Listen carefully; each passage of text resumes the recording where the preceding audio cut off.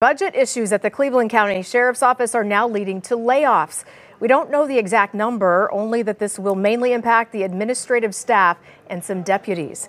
In a Facebook post, the Sheriff's Office says the layoffs are necessary to prioritize staffing in patrol and detention. You'll remember back in June, the Sheriff's Office had to be bailed out by county commissioners because of overspending more than $3 million.